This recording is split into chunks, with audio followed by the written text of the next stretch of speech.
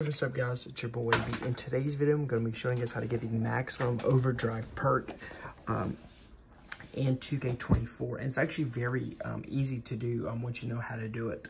Um, so what you guys have to do is first you have to unlock all the badge, all the takeover badge perks. Um, so you have to unlock all of those. I'll just go and show you guys um, the screen for that.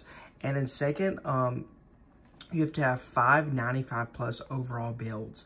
And I'll show you guys where I got this from. Uh, I'll just, I'll link it below, guys, if you want to check it on Twitter. Shout out to him, guys. Make sure you guys all follow him and check him out. Um, but yeah, what you guys need to do is go to your badges. And again, you have to get all of these. Um, sorry, where is it? All the takeover stuff, all of the takeover, or all the badge perks, sorry.